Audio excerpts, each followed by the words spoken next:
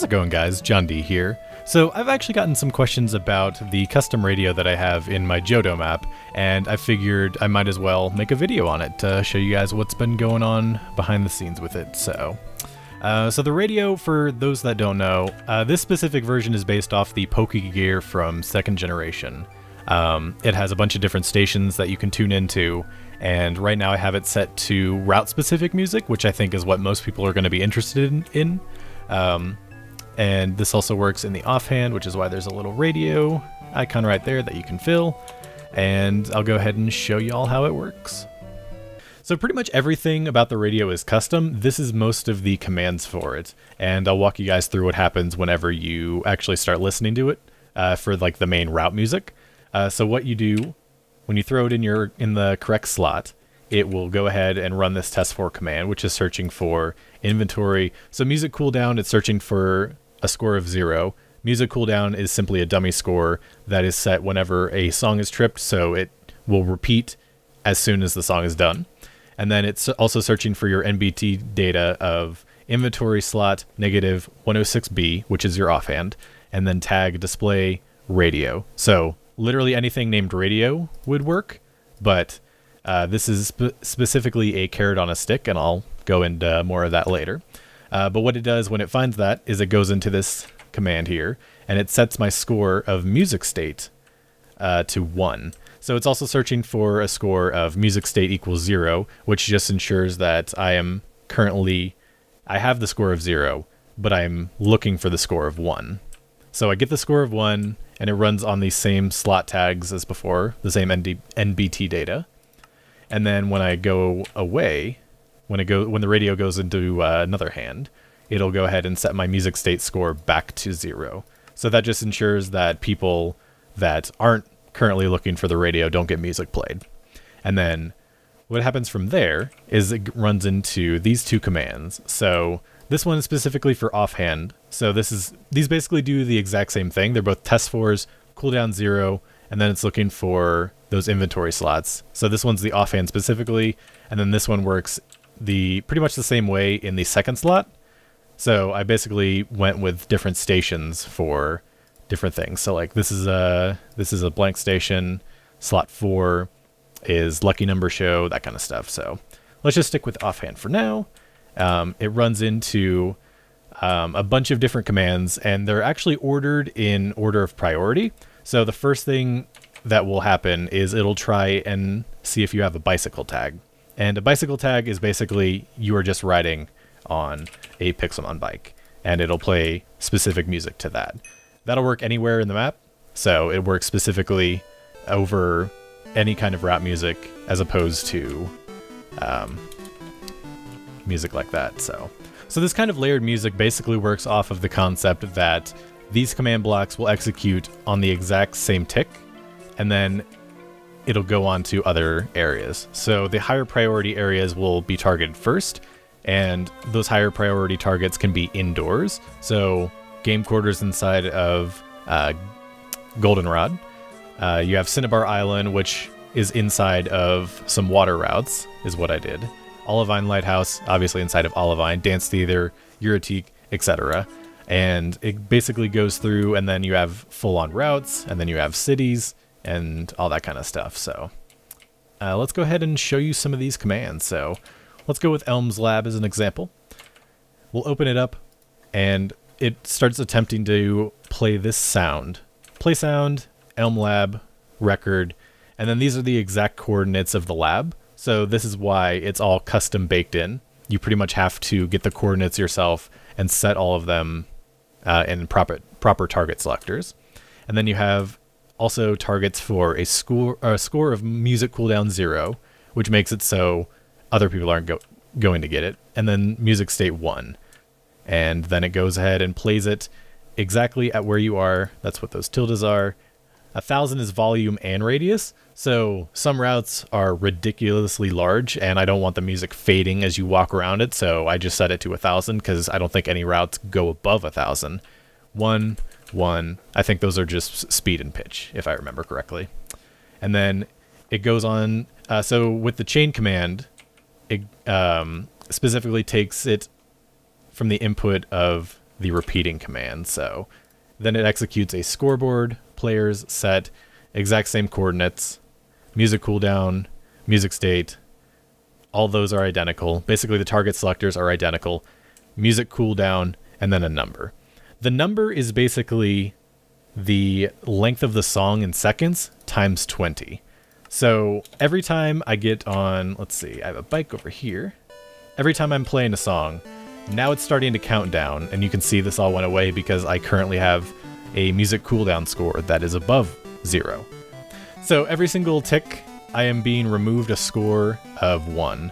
So this basically will spam the console a lot, but it ensures that the length is roughly the same and it doesn't it's not susceptible to as much lag as say these hopper clocks are, which is why I went with the more spammy method instead of trying to calculate it based on how frequently the hopper clocks refresh and all that kind of stuff. So, it makes it a little bit easier to to go. And you can really use any kind of target selectors if you really want to. So I also um, have tags in here for gym leaders. So it's specifically looking for entities named blue that are Pixelmon NPCs, and then it's giving that. Uh, then it'll start start playing some battle music whenever I'm near them, and it also works similarly with Silver, your rival. So if I go ahead and just inch, there we go.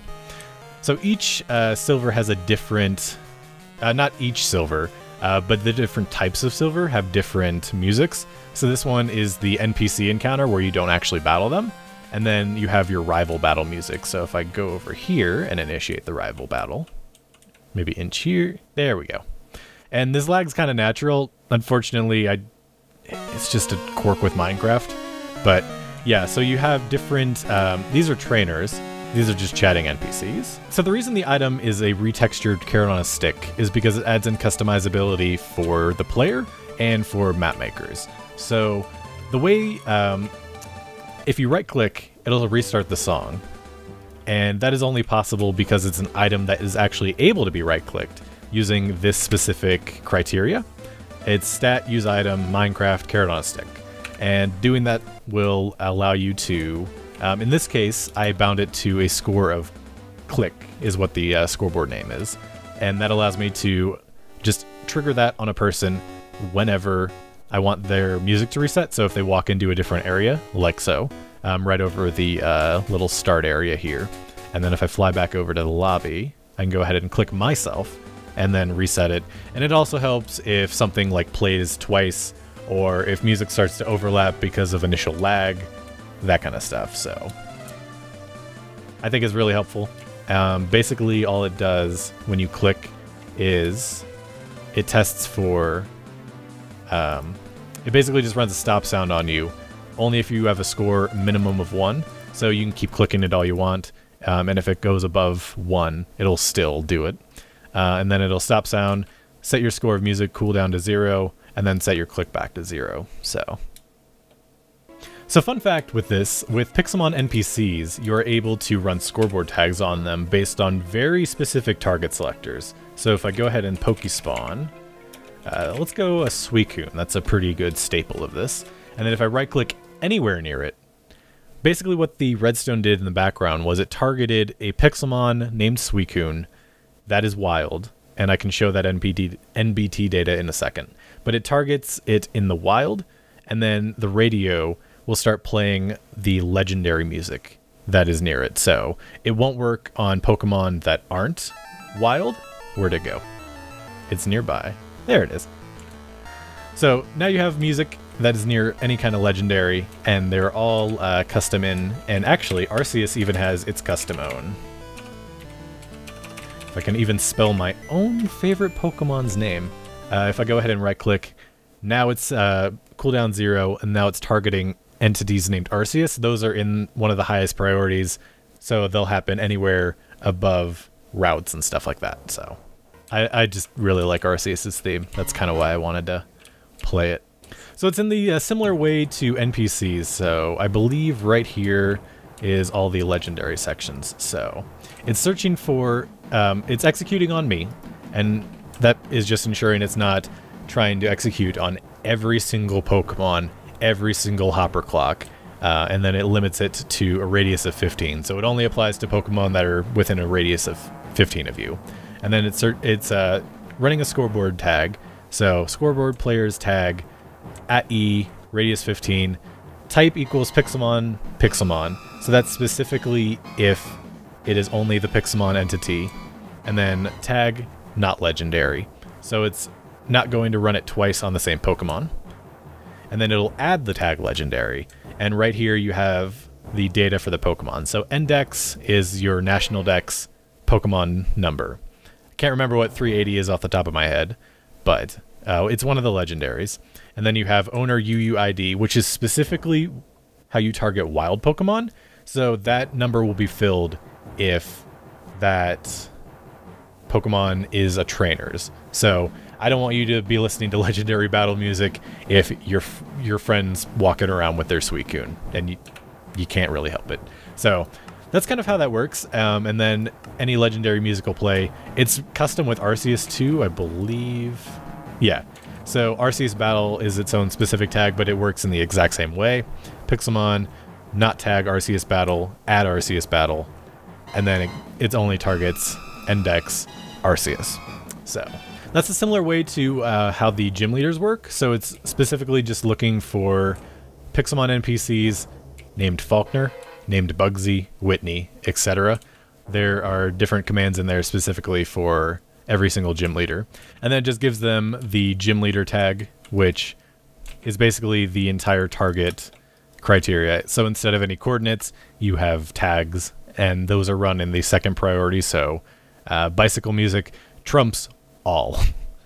But yeah, that's essentially how the uh, radio works. So all of these are basically just for different areas that are basically hard coded. You pretty much have to go and make all those coordinates yourself. But I think it's really cool. I think it's like, it's not simple, which is kind of why I'm explaining it.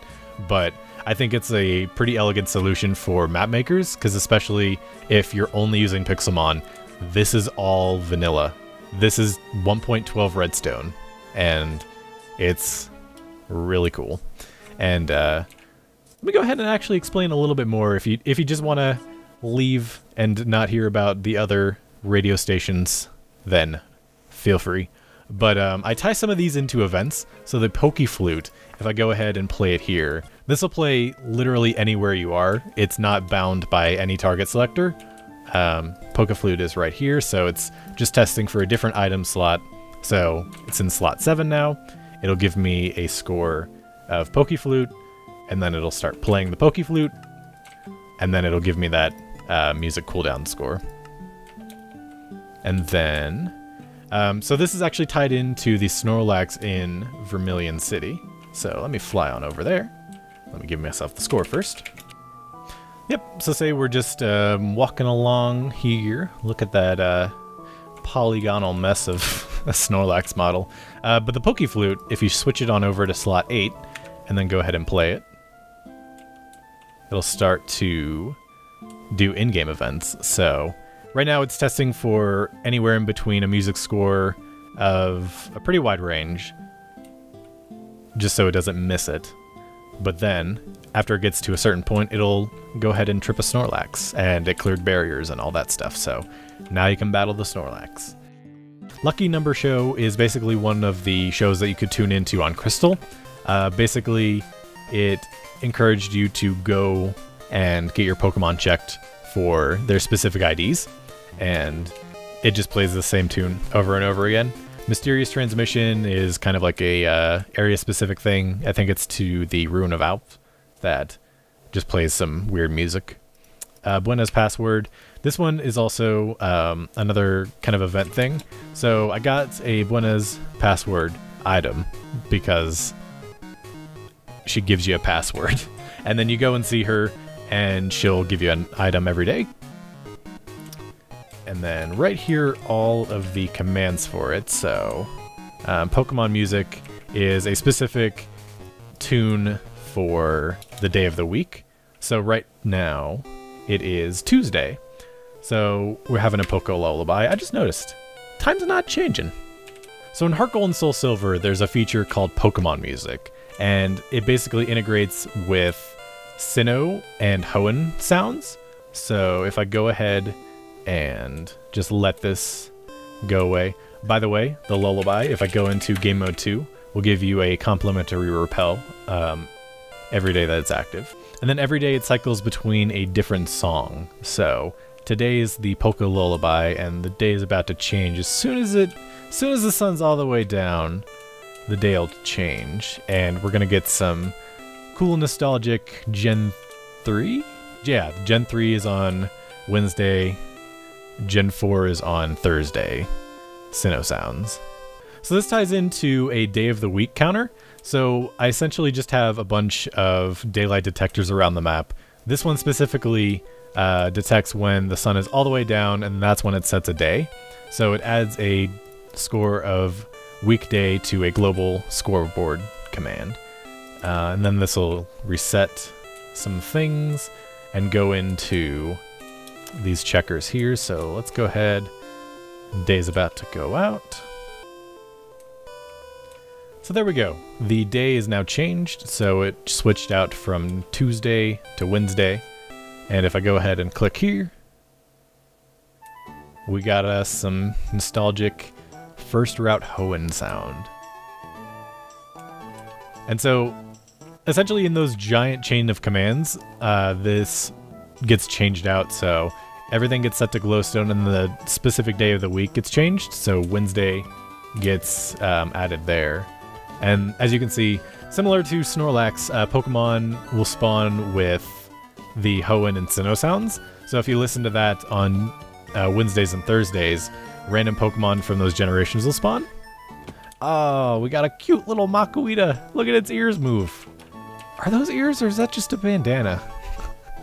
I don't know. Um, but yeah, here we have, I believe, Hoenn Sound. So yeah, it fills it all in with glowstone.